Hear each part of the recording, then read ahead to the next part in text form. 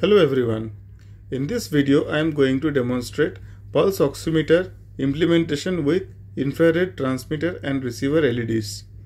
As you can see this is my basic setup. I have not used any amplifiers yet, any processing circuits yet. This is the base circuit, the basic circuit.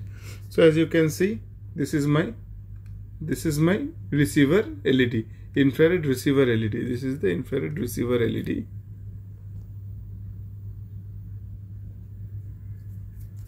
As you can see, this is the infrared receiver LED. This receiver LED is powered with a 12 volts DC supply. There is a current limiting resistor of 1 mega ohm and a 100 kilo ohm. From 100 kilo ohm parallel to 100 kilo ohm, I am taking multimeter output and I am displaying the result here.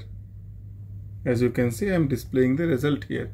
This is the result across the receiver circuit on the parallel to 100, 100 kilo ohm resistance. So now I am going to show the transmitter. So this is my infrared transmitter LED. As you can see this is the infrared transmitter LED. So let me switch off the flash. Now you can see here the LED is glowing. You can see the LED is glowing. You can see the violet lamp outside. It, this is glowing. So this is this this LED is emitting infrared light at present. So this infrared light will be received by the receiver if I put them opposite to each other. You can see like this. If I put them put it here like this, then in the transmitter infrared light will be received by the receiver LED. So in that case, you will see the voltage will be 1 volts, 1.1 volts DC because 100% of the transmitted light will be received by the receiver you can see here 100% of the transmitted light is received by the receiver. So the voltage is 1.15 volts. Now if I put my finger inside in between in between the transmitter and the receiver the transmitter LED will transmit its waveform and it will be absorbed by the bloodstream. The infrared infrared ray from the infrared transmitter LED will be absorbed by the bloodstream. The reflected rays from the bloodstream will be received by the receiver LED. This is proportional to the percentage of oxygen in blood. Like this we can find out the specific oxygen in blood, the SpO2 content in blood in percentage. More the oxygen content, the absorption of the LED, absorption of the infrared light will be less. Absorption of the infrared light will be less and and highest the absorption of infrared light less oxygen will be there in the blood. The result the relation is inverse. Now as you can see i am putting my finger. The receiver is bit below. Transmitter is on the top. My finger is in between. Now my finger is in between.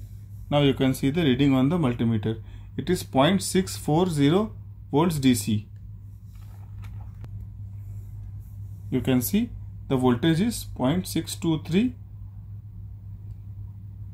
0.614 DC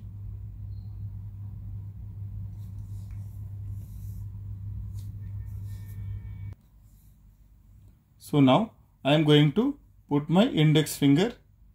So now already I am measuring the index finger. So I will measure the middle finger. You can see this is the measurement of the middle finger you can see this is the measurement of the middle finger. So this is the measurement of the ring finger.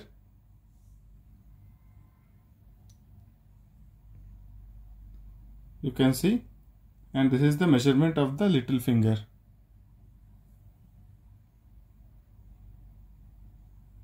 So as you can see here basically whatever the infrared transmitter LED is transmitting the amount of infrared light absorbed in the bloodstream is getting absorbed. The resultant blood, the resultant infrared light is received on the receiver LED which is proportional to the oxygen content in the blood. So this is how a pulse oximeter works. I am going to show the circuit now. As you can see this is my circuit diagram. So this is the transmitter LED, IR LED and this is a 1K resistance in series with the IR LED and this is the receiver LED in series with 1 mega ohm resistance and 100k resistance. So here we are measuring the voltage and we are getting 0.645, 0.635, 0.635 like on the different fingers. Now this is the relation of specific oxygen percentage with the volts. It is directly proportional linear curve and the reflected wave reflected wave is inversely proportional to the percentage. So reflected waves, more reflected wave comes, there the voltage will be less. So voltage is inversely proportional to the reflected waves. That's why you can see reflected wave and SpO2 the curve is like this and volts and SpO2 curve is like this. So when it is 6 point something volts it has to be on the particular percentage. We need to do a scaling and we can easily make a pulse oximeter circuit in practical.